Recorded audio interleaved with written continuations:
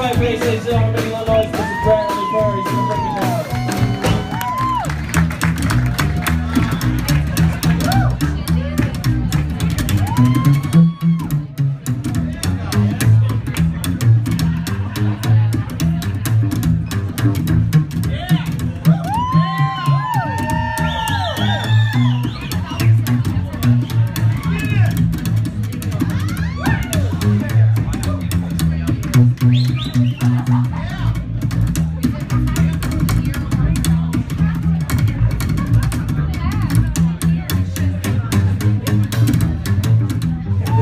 good.